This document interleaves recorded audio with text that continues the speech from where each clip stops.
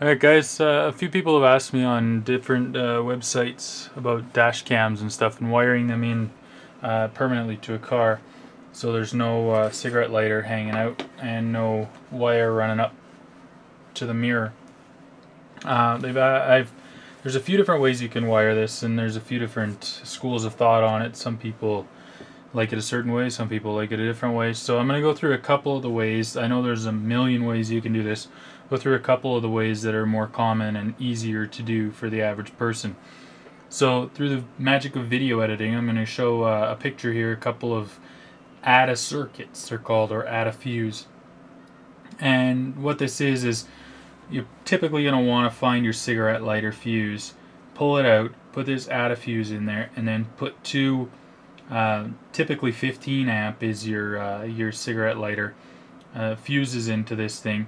And this will still allow your cigarette lighter to work just as it normally would but it also gives you an additional wire off the side. And that extra wire uh, is your positive for whatever your project is.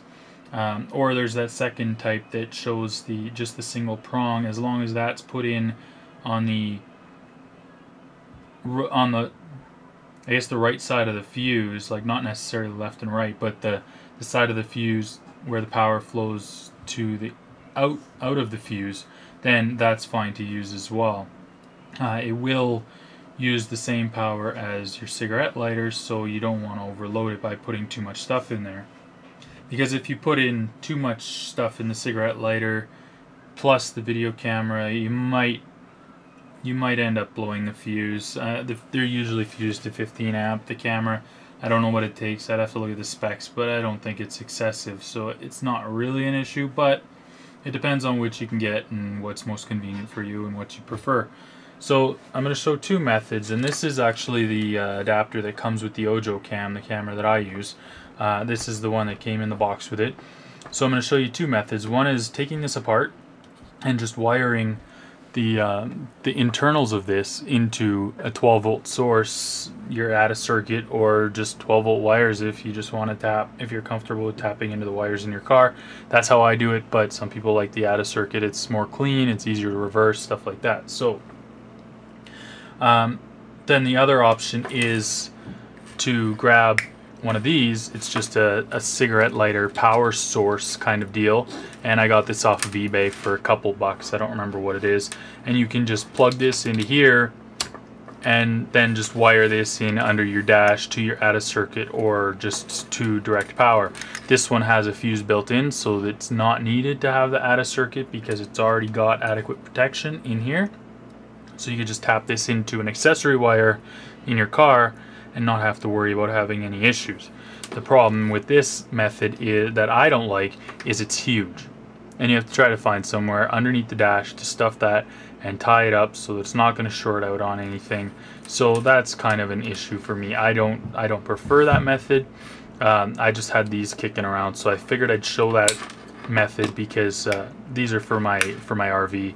I'm going to install some 12 volt outlets in my RV.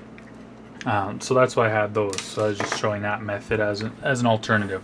But the method that I prefer to use is taking this apart because you you need this because it's a step down from 12 volt to a 5 volt USB for the camera and the camera cannot take a 12 volt direct. If you do that you'll probably fry the camera. Um, so the basics about this uh, cigarette lighter is that the pin is positive. That's your 12 volt source and then these two ears on the outside are your negatives. Uh, that's how it's wired up as a cigarette lighter. So that's all you have to remember when you take it apart is make sure that your pin is positive and your ears are negative. So this is really easy to take apart. You just unthread the end plastic piece here and it just comes off. And in there is a fuse. Uh, so that fuse is not really necessary if you do the add a circuit because you're adding a fuse anyway. So you just unthread that and then you just pry the case apart and it comes apart. And then you can just pull the whole circuit board out. And so this is your ear.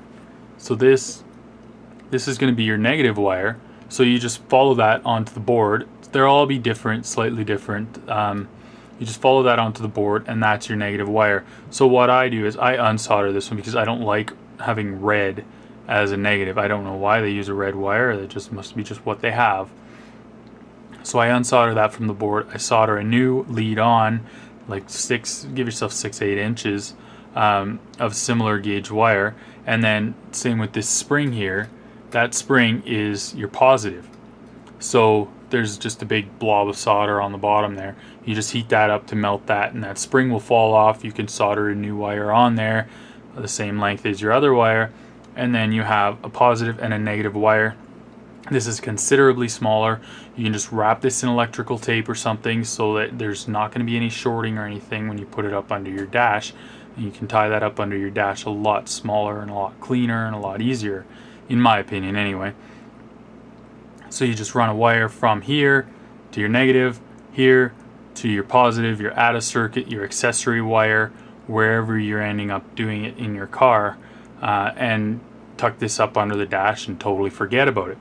And then you just run this wire, which is like a 15 foot wire. I mean, it's plenty of length for any vehicle to go from the dash to behind the, the rear view mirror, which is where you typically mount your camera. So that's it. Just a couple examples of uh, how you can hardwire a dash cam into your car. Pretty simple, pretty clean. It took me about 15 minutes. I do have pretty good knowledge of the electronics in the car, but it took me about 15 minutes on the weekend to do mine this way. So it's pretty simple. Give it a shot.